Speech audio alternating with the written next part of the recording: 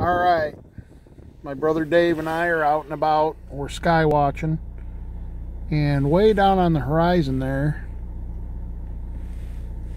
way down over there, is a glow on the horizon. I don't know if you can all see it there, but uh, that's not the nuke plant because the nuke plant is over that way where those blinking lights are. Um, there's a few stars out, but uh, there's a storm moving in. And, uh, oh, you can kind of see the lightning up to the northwest.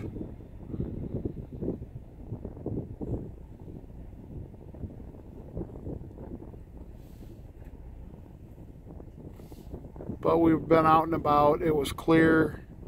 Clouds are starting to move in. Haven't really seen anything tonight.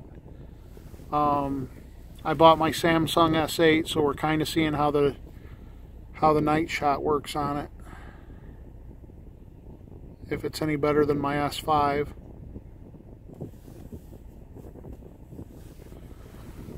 So you can kind of see the horizons stuff. Really not a lot going on tonight. And we got a storm moving in apparently, but not here yet. So So this is Dan for Ghost Hunter Dan project. Um gonna be taking an old friend out soon to do some ghost hunting.